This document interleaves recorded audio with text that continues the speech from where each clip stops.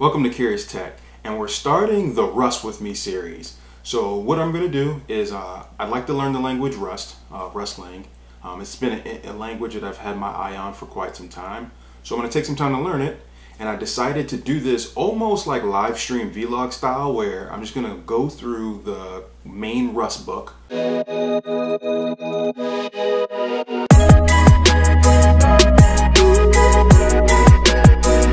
Chapter 2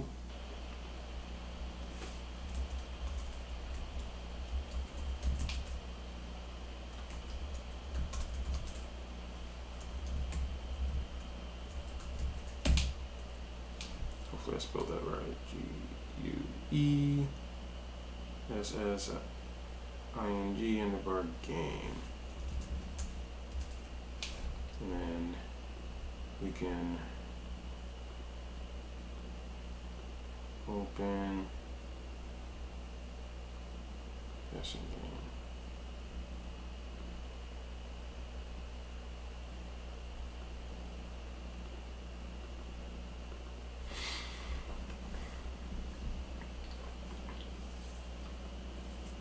Again, created our stuff. We saw in chapter one, it automatically makes a hello world.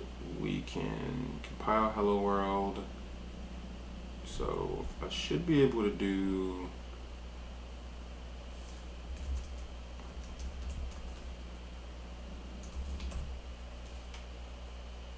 Okay, this isn't as um, viewable.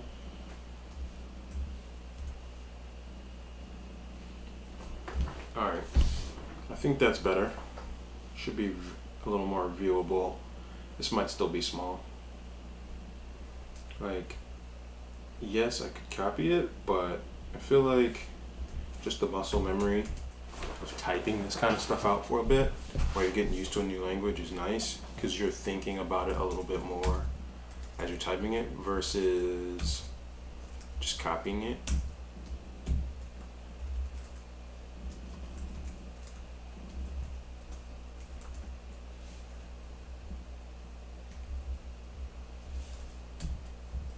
do have Vim mode on.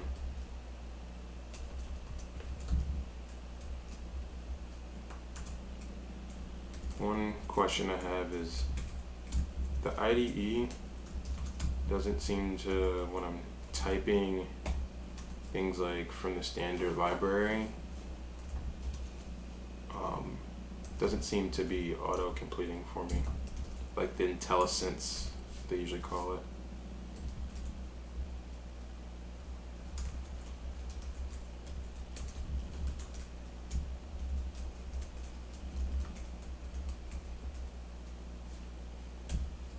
That looks like that's IntelliSense.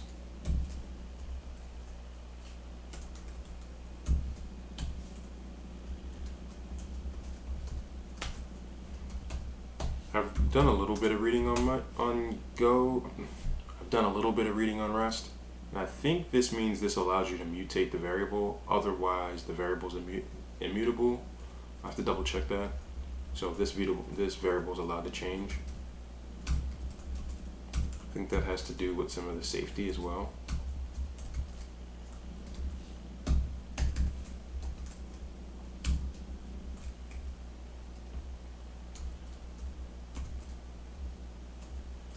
Interesting.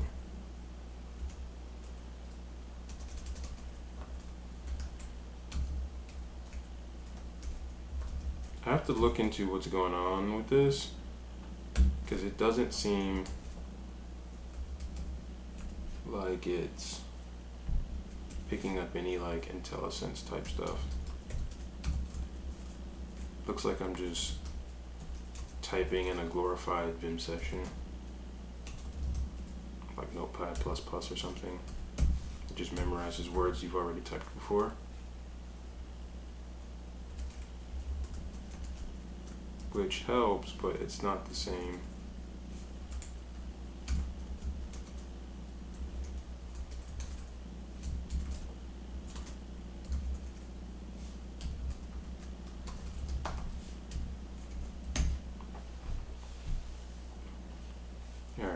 So I print two things, guess a number, input your guess. It says a number. And it's going to make guess a string, which makes sense. You're going to read it, and I guess you're going to change guess. I have to figure out what this is going to do. Then we're going to print what we typed. Standard library.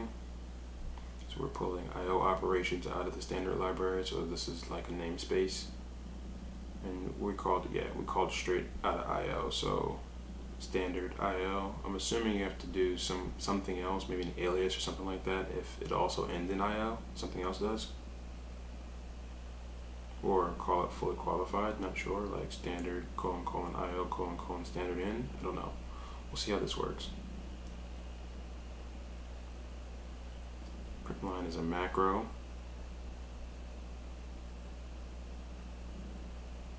The let statement.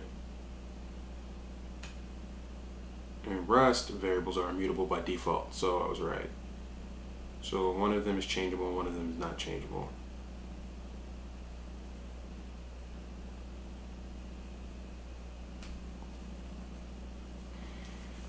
Okay.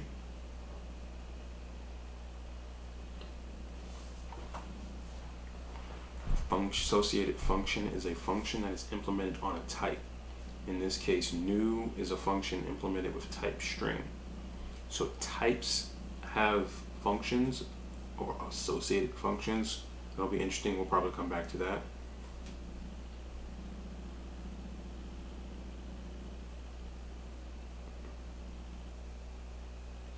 So it's created a mutable variable that is bound to a new empty instance of a string. So we created a string container and we stuff stuff in it.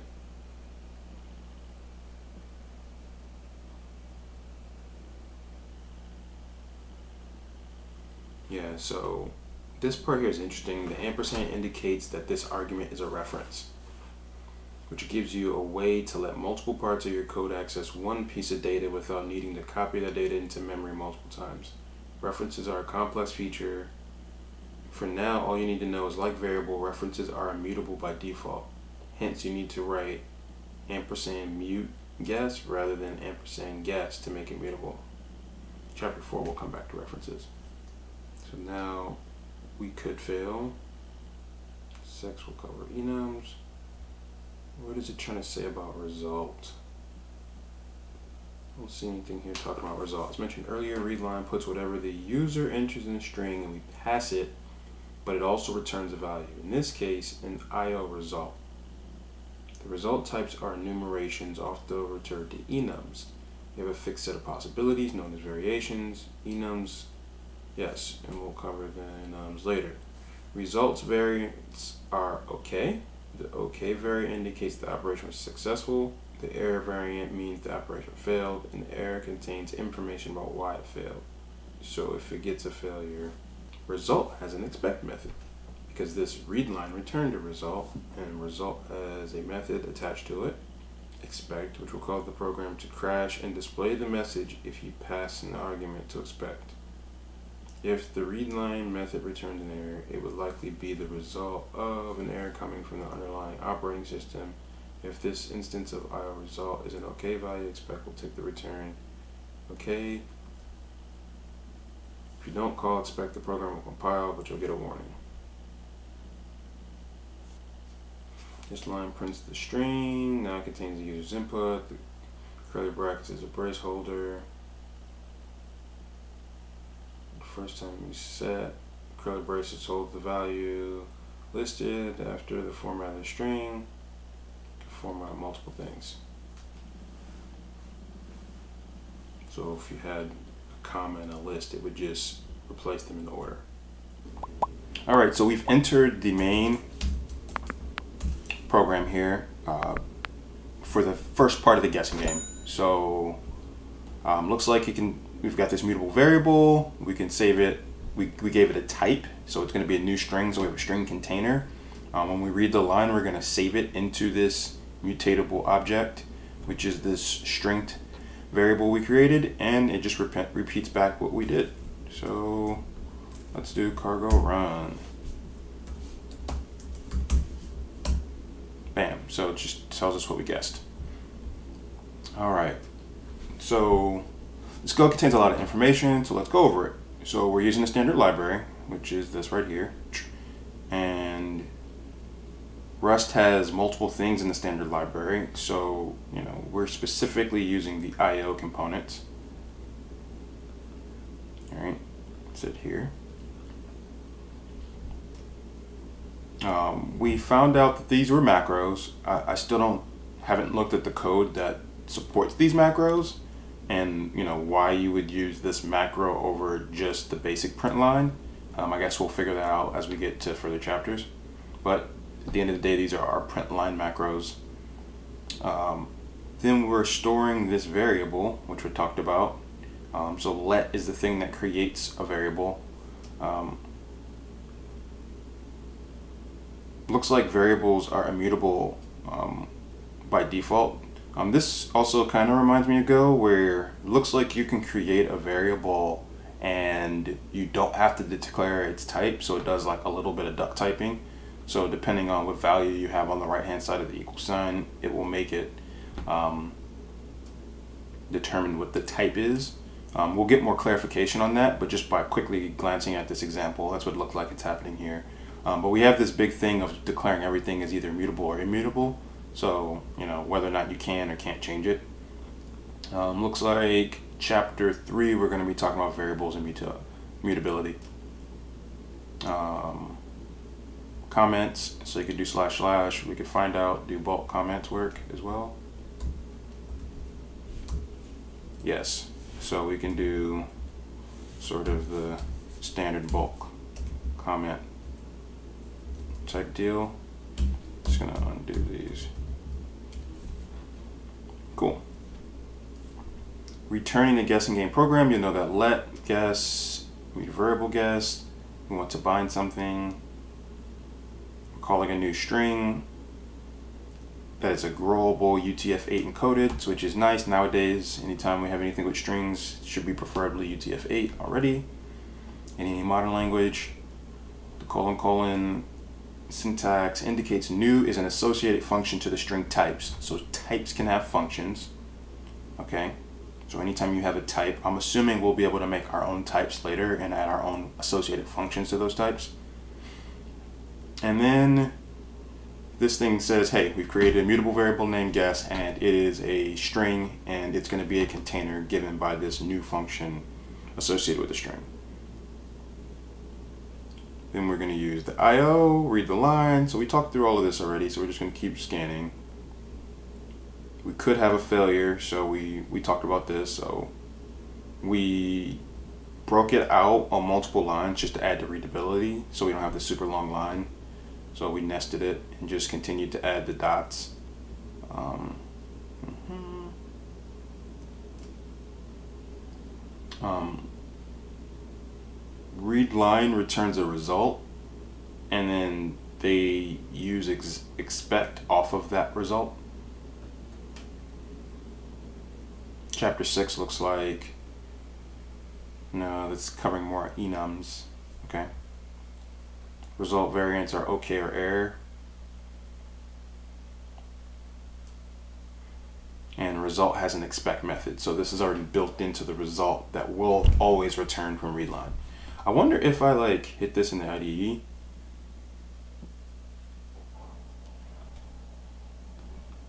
Nothing. Go to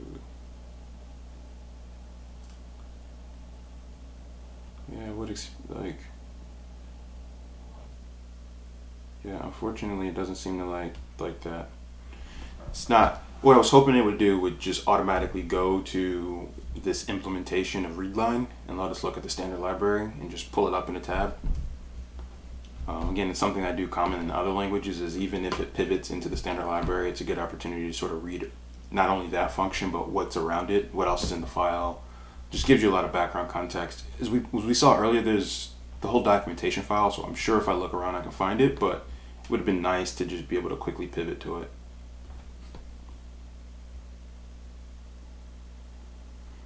If you don't include expect, it'll compile, but you'll get a warning.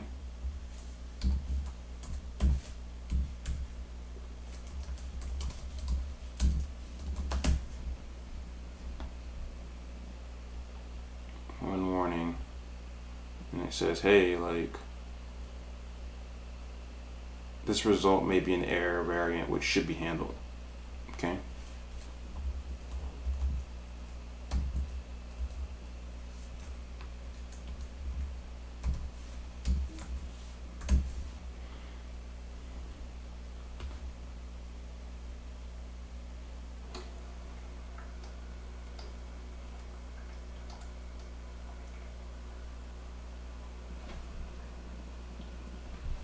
Oh, I wonder if that sound's coming up in the video because I, uh, I put that back there to be like a thing that looks cool and it's noisy and bright. Turn the light off, but now it's randomly making noises in the video. Randomly making noises.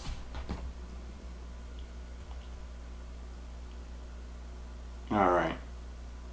So now we want to generate a secret number and we're going to use it with the rand crate. So we're going to go to the toml file, we're going to go in dependencies, rand equals 0 dot 8 dot 3.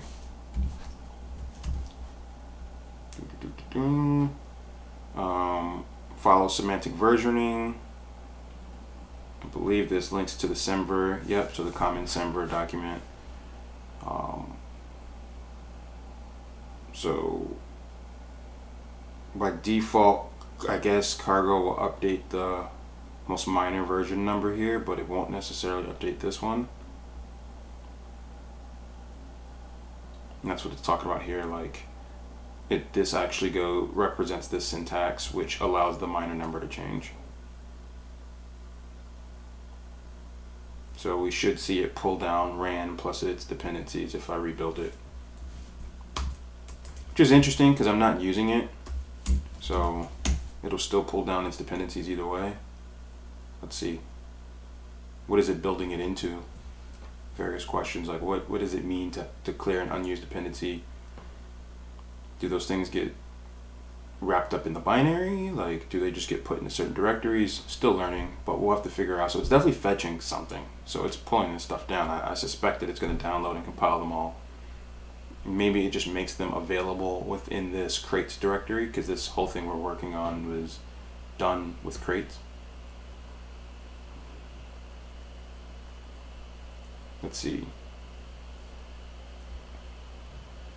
Including external dependency, Cargo fetches it from the registry, copies the data from crates.io. After updating the registry, Cargo checks the dependency section. Uh, after updating the registry, Cargo checks the dependency section, downloads any crates that aren't already downloaded, and we added that. If you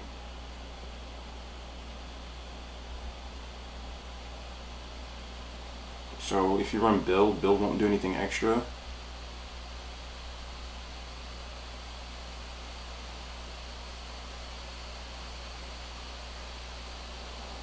So even if you make a small change, it won't do anything.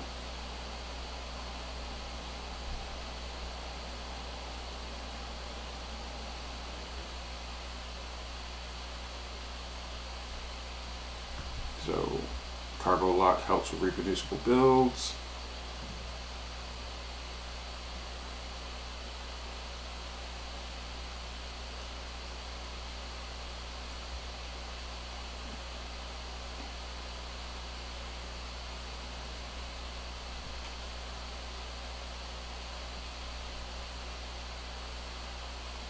Could make it go, if you do cargo updated, it'll only take the minor builds. Alright, so now let's, wants us to implement some more stuff here. So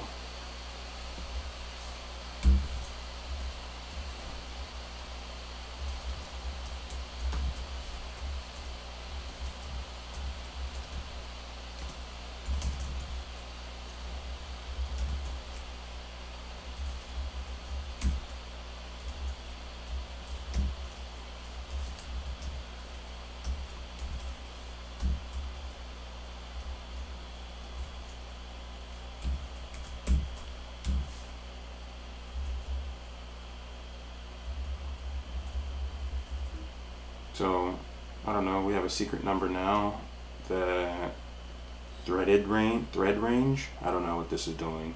Gen range looks like it's going to generate it in the range, but I don't know if it's exclusive of these numbers or inclusive. Alright, so we added the rand range. Oh, did I? Oh, I didn't add that. That's not going to work. Random number generator, semicolon. Alright, that's better.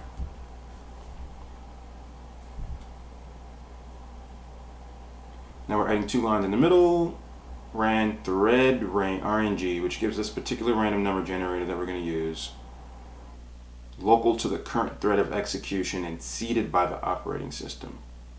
Interesting. Thread RNG. This method is defined by the RNG trait we brought into scope and we'll use the RNG statement. The gen range takes the expression and an argument and generates a random number. The kind of expression we're looking at is start to end and is inclusive on the lower end but exclusive on the upper bound. So this will do 1 to 100 range, which is equivalent of 1 to equals 100. Yes. Note, you won't just know what traits to use and which methods and functions to call from a crate. So each crate has documentation for using it. Another neat feature of Cargo is running cargo doc dash dash open, which will build documentation provided by all of your dependencies locally and open it in your browser. Okay, yeah, that's that's cool. What is it? Another example that like if you if you pull down all the dependencies you think you need while you're working on an application, you'll have all the standard library documentation, you'll have example code documented, you'll have um, all of the library documentation. Like, this is lends itself really well for like some offline development because almost everything you might want to know will be sitting here um, on your own box. So like once you've pulled stuff down and compiled it, um, you won't need. Did I have a typo here? I did. Could fix that.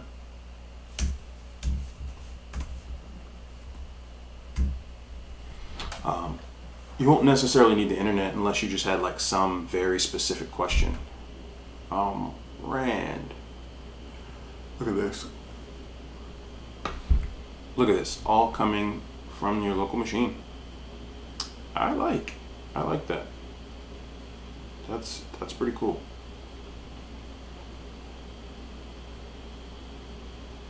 Examples. Does everything have a book?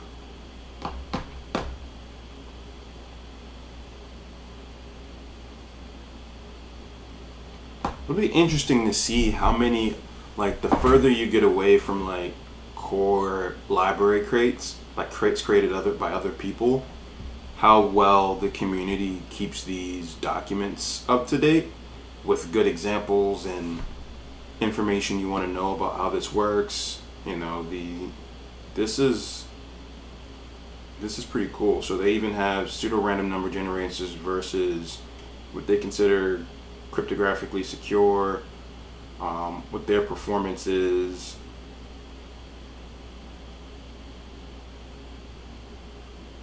right? Like XOR shift kind of reminds me of old linear feedback shift registers.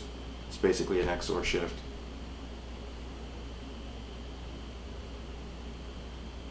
Um, bit more memory, it's lower performance, but um, all this is here. Fascinating.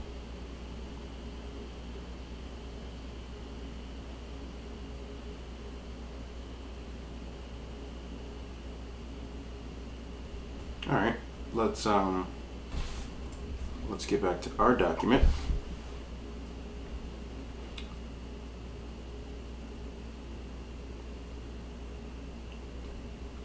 Did I miss something about printing the secret number? Because I didn't see that. Oh, the secret number is goes right before this.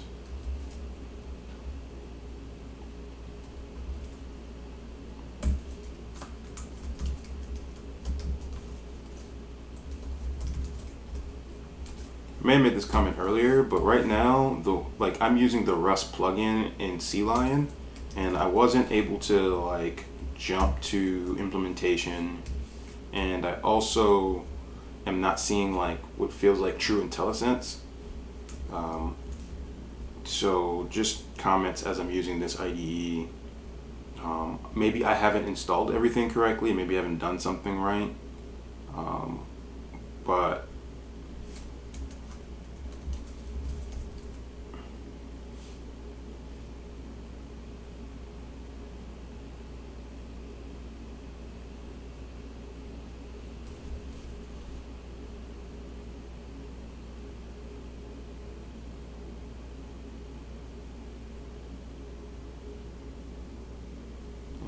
did I do that in the right order? Yeah, it didn't ask me yet. It's so weird. It's showing like it showed me the secret number before we guessed. Um, but we're just getting the program together, so we're just dropping lines for now, I guess.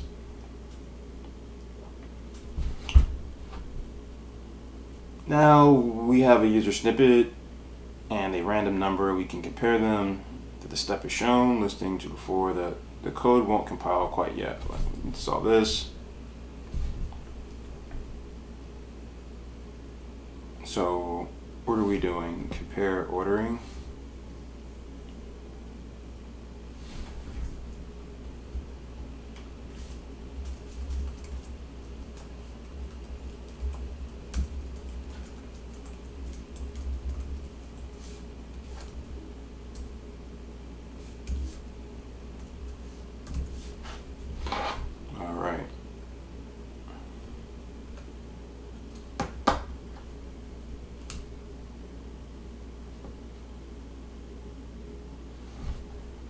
So after we guess, wants us to try to match this.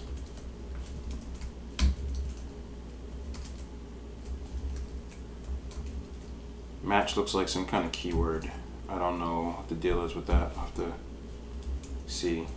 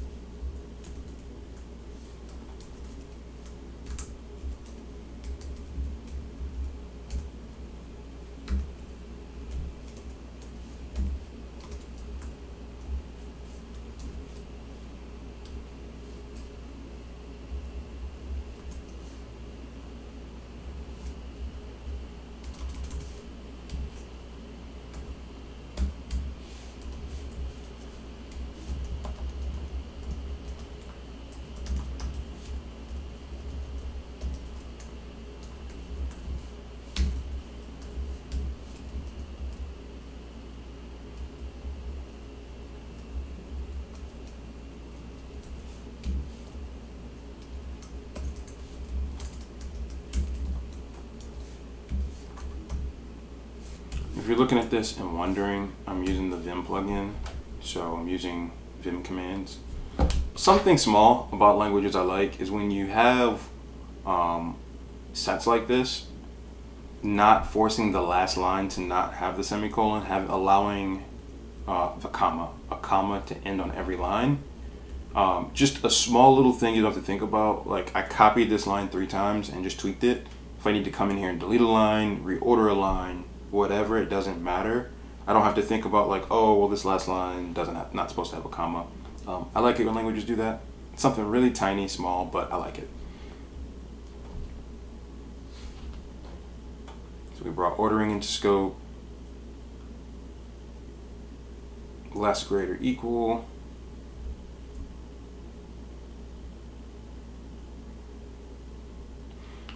We're going to need to do anything to turn this into a integer because this is creating a number I believe right like it's taking a number but we guess we're guessing like with a string so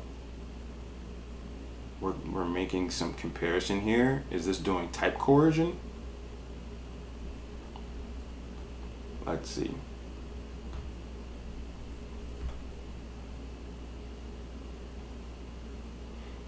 Here it's comparing guess a secret number, then it returns the variant of ordering. The match expression do do do is recalled on comp CMP and the values of guess and secret number.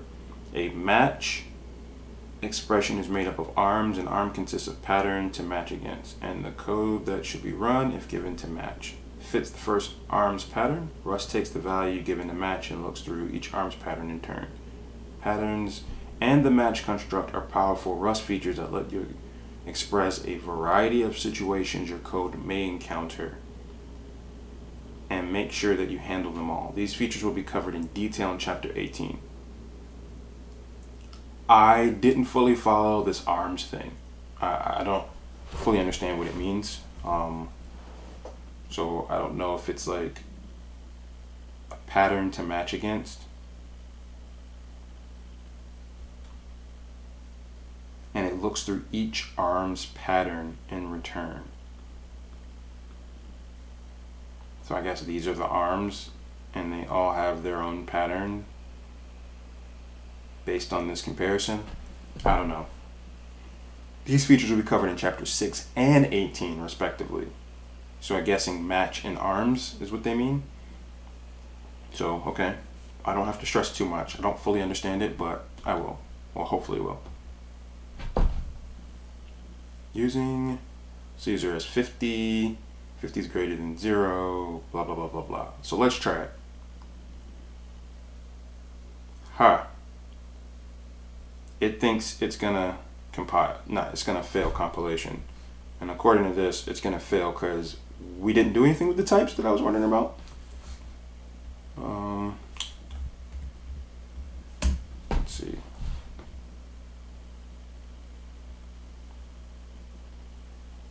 Two. Oh man, I'm failing with these.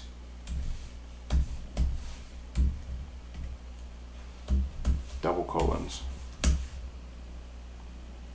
Always add, like, I don't, like, stop asking me. I know when I want to add things to get. Alright.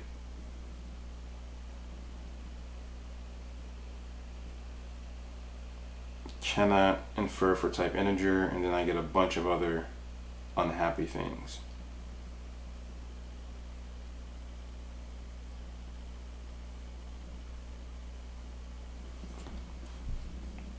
Core of the error states is mismatched types. Rust has strong static typeposition. However, it has type inference when you wrote this. Rust will infer that guess should be a string.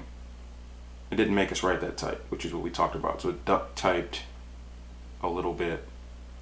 It duck types a little bit. On the other hand, is a number type. A few of Rust number types can have a value between 0 and 100, I32, U32, unsigned, I-64, I-32. Unless you add type information elsewhere that would cause Rust to infer a different numerical type, the reason for this error is Rust cannot compare a string to a number. Ultimately, we want to convert the string, and then the program reads the input, blah, blah, blah, blah, blah. Oh, so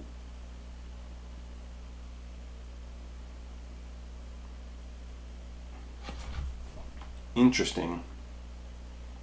So we're just going to reabsorb yes as a U32.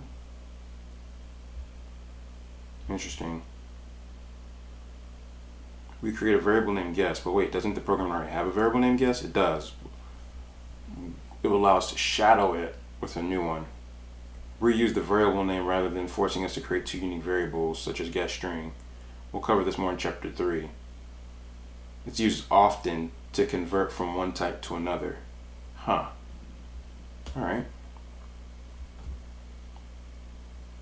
Mm -mm -mm.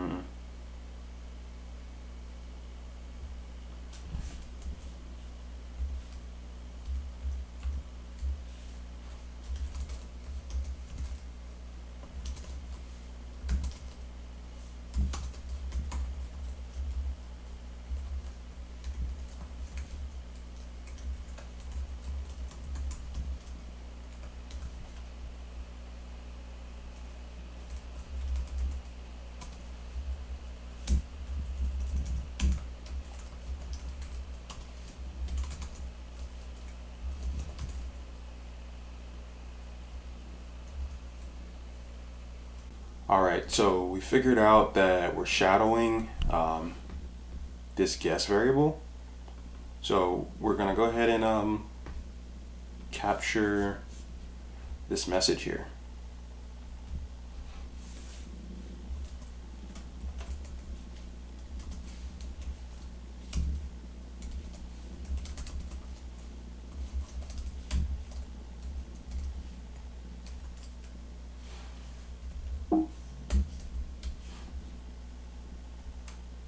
Okay, this line is trim, parse, expect.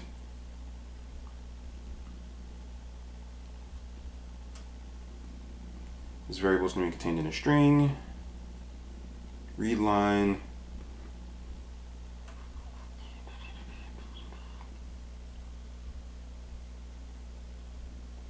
Input in their guess which adds a new line character to the string. For example, the user types 5, they press enter, then we get 5 new line. New line rep represents character return or and a new line. On Windows, it represents also a character return and a new line. Trim splits all of that off, removes it. Um, then we parse it.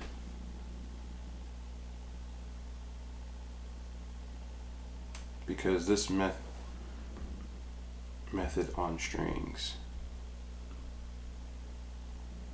Parse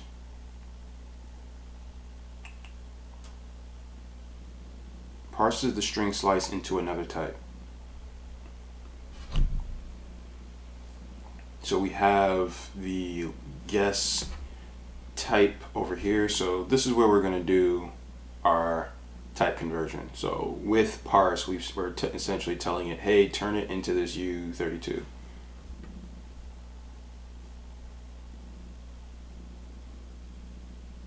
Okay. We'll only work on characters that can logically be converted into numbers and can easily cause errors. For example, if the string considered, you know, an emoji thumbs up, percent, A, there's no way to convert that into a number and the result might fail and the result would be, and that's, oh yes, so now we're catching that right now. So we're expecting a number, and right now you could put in something that's not a number. So let's see, let's see, let's run this. All right. Undeclared type ordering. What did I break when I moved stuff around?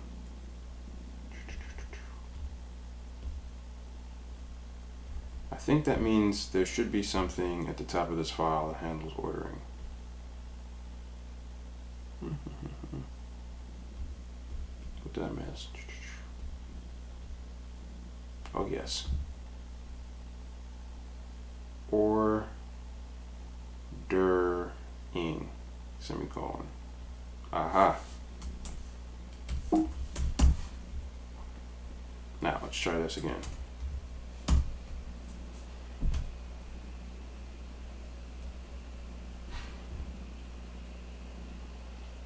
Some other errors. Semicolon.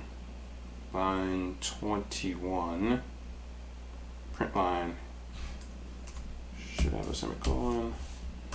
Did you notice I don't have like linting or anything turned on in this IDE?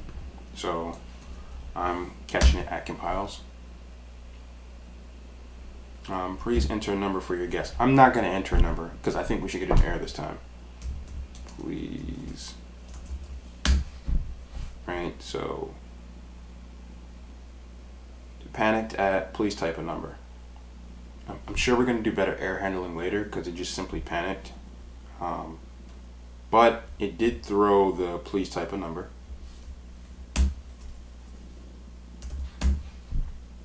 Too big. But it doesn't remember anything.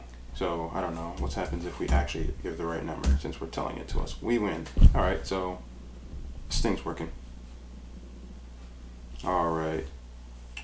Mm, we did this. Parse. We know parse won't work. Now we ran it. All right. So even though spaces were added before and around the guess, you know, we got rid of those. Did I, did I try that? space, space, space, space, five, space, space, space, space, space. Guess five. So then like if I do the same number, space, space, space, space, space, two, space, space, space, space, space, space, space. Okay. Trim's doing what you'd expect it to do. Alright. Allowing multiple guesses within loopings. Looks like we're at the bottom section of this document here, so we're almost done this chapter.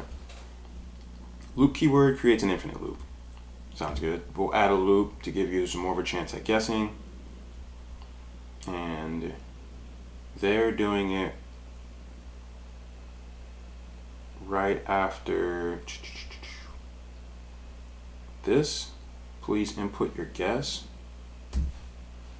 And then they are closing the loop, close bracket, on this loop after this. So they are dropping a loop here. Actually here.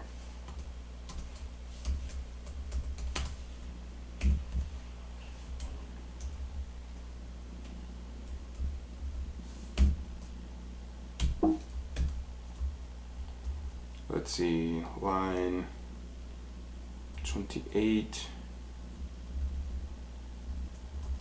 12, so that's like 26 lines. Alright, let's see. Almost. Better. Alright, so now we have a loop. As you can see, we moved everything from guess input, honoring the loop, so be sure to indent the lines. We just did that. The user can get out with Control C. Even if I win though, I don't think I'm to pop out. Right, yeah, it's to ask me for another guess.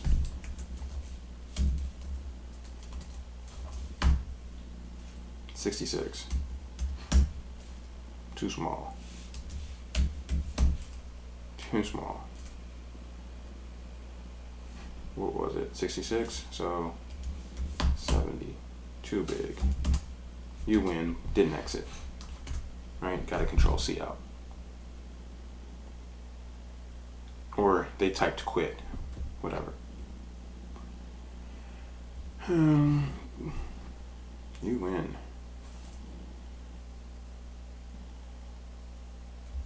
So this time they're using a bracket.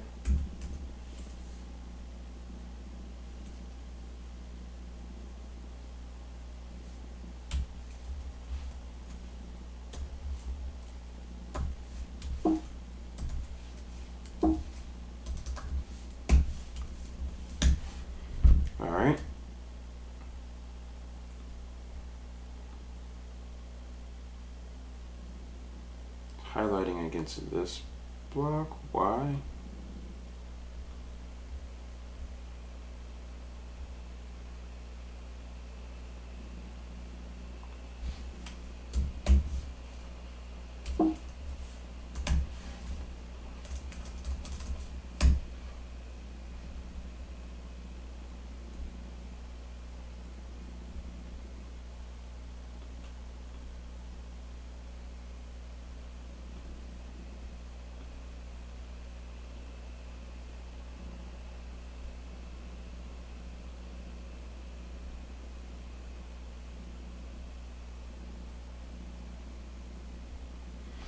What do we got?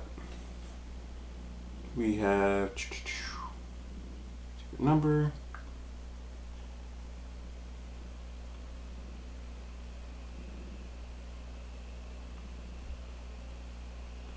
These two should match. This is super weird. These inner two should match.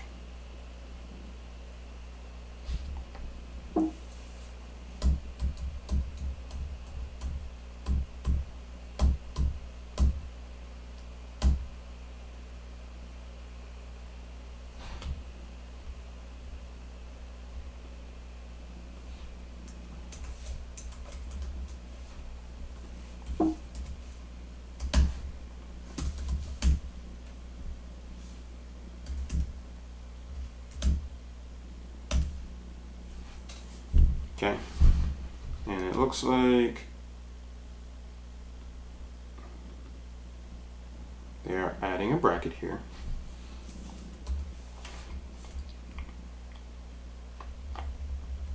really quick. Which one does this highlight with?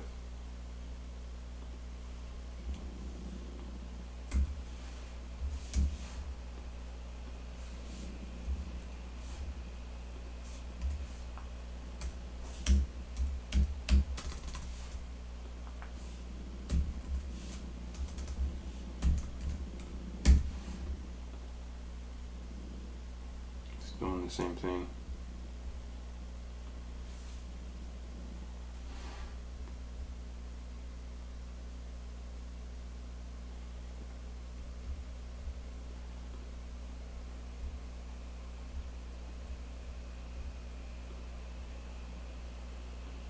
Did I lose something here?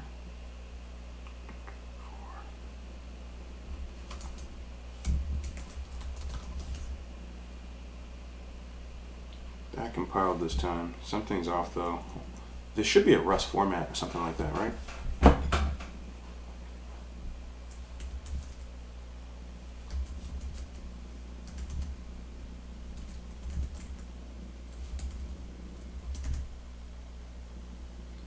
don't know how this works actually.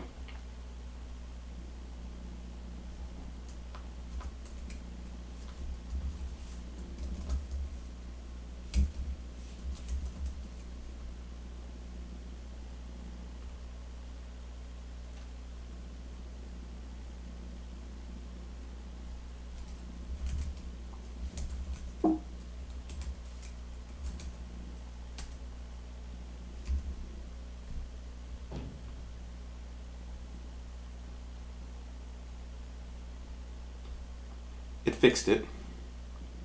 So I just ran Rust format. I wasn't sure like why stuff was looking that way, but I ran Rust format on it and it fixed it. So what do I mean? Uh, I'll just break this again. So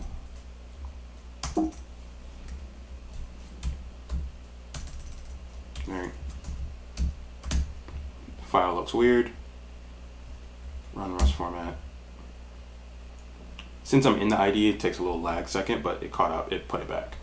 Um, so that's one of the things that's nice with languages with good tooling like this is at least you can get like some of your language structuring um, in a good way by just leveraging the tooling.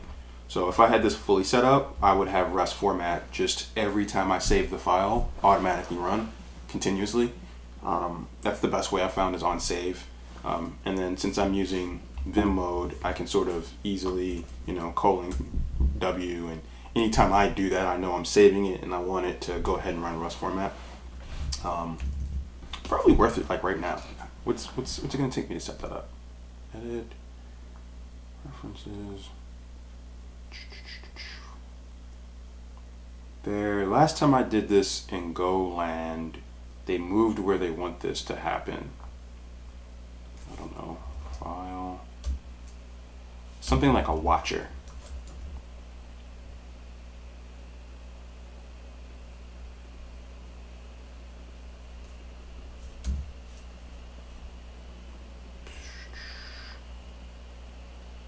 Actions on save.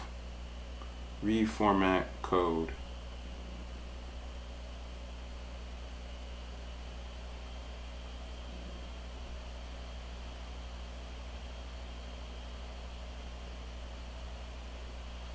Yeah, but it's not.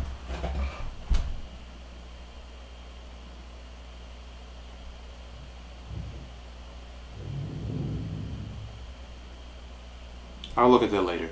There was something supposed to be like a file watcher, and you can tell it to watch this file, and you can say run this utility. You can point it right at this binary. Um, you can probably give it a fully qualified path to where this is, and just on save it will run this. And then you can set like include excludes on the file etc but now we break boom. So handling value input behavior rather than crashing the program when a user inputs a non-character let's make the game ignore that so they can keep guessing. Alright so parse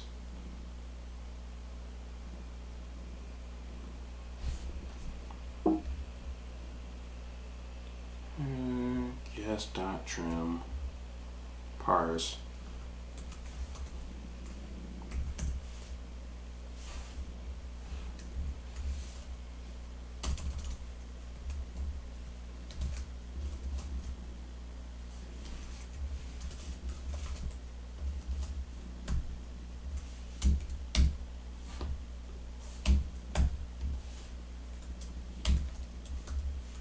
And we, we learned about OK and error.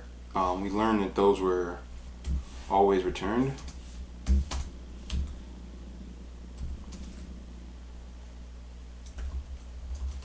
So whenever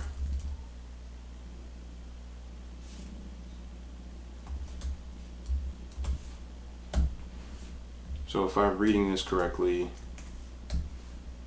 um, basically, if you actually got a number, then continue on.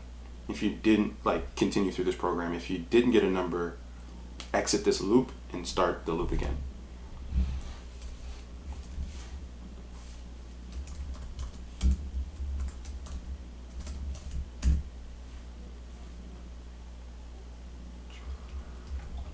This one is interesting. The previous ones were a little bit clearer. Um, this is angry because it doesn't have a semicolon. I had a comma. Um, I just happened to notice it, but when I was looking through the errors, it wasn't that obvious. What's it angry about this time?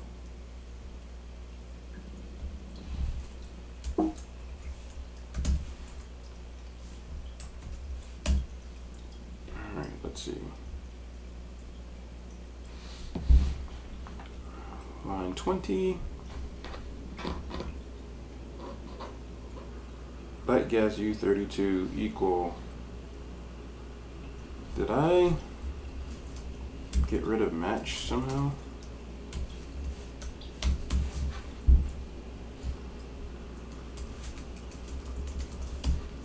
All right, now we're into it. Alright, it's 80, so let's do 50. Too small, let's do XXX. Hey, try again, let's do 80. Out of here. Cool. We can switch from expect call to match. Oh yeah, was I not paying attention to that? What were we doing before?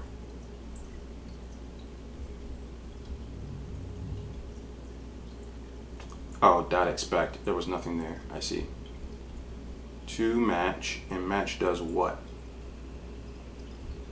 Hmm.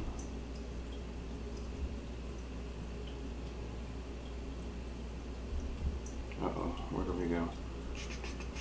Okay, number, blah, blah, blah, blah. I think this is it. Yeah.